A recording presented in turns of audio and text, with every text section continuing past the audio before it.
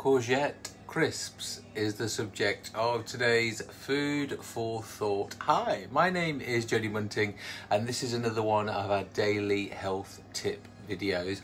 Now these are courgette crisps.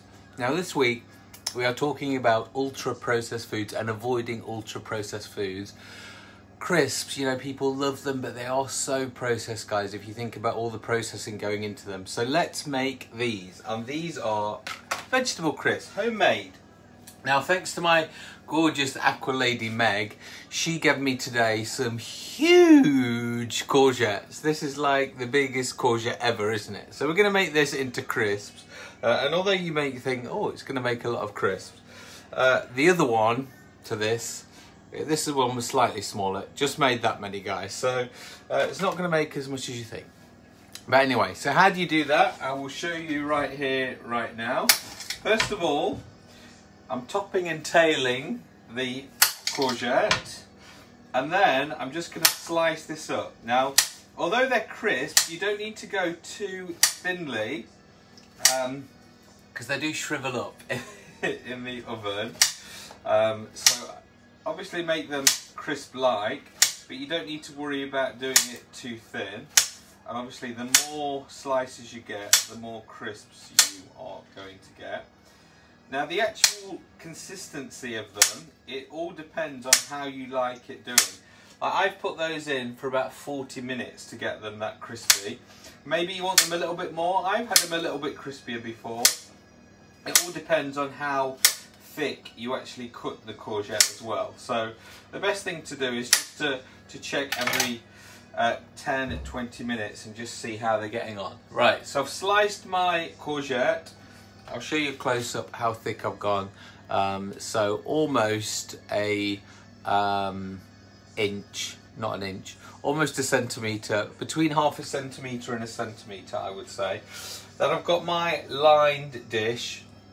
I've got my extra virgin olive oil and I'm just going to put a little splash of that on. Going to get my little oil paintbrush now bake the others on here, this is why it looks dirty, but it's not actually dirty.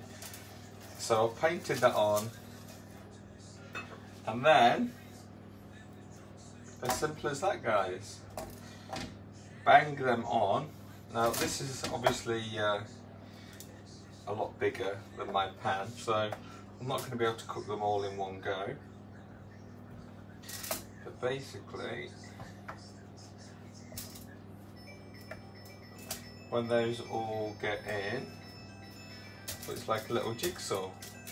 And then what's happened is, because I've got quite a lot of oil on the bottom there, when I flip them over after 20 minutes, the oil will obviously still be on the bottom, so then it will coat the other side. So you don't need any extra oil now. Um, so then bung them in the oven. Uh, I would say probably about a 200 degree heat I said, throw them in for 20 minutes first of all, turn them over, and then leave them for another 10 or 20 minutes, depending on how you like them. And then you get this. So this is your aubergine crisp.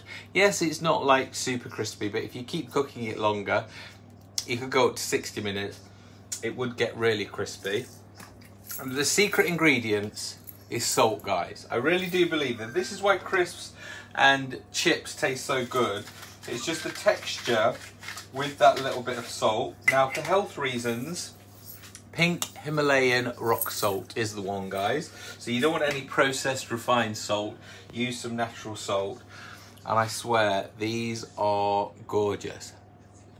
Hot, crispy, salty, delicious. I'm going to the cinema this afternoon. I'm going to take them with me. Those are my cinema snacks. Thank you for joining me. As always, what do you do with your courgettes? Leave a comment below. As always, if you're watching on YouTube, click on subscribe. See you in the morning for a workout. Bye for now.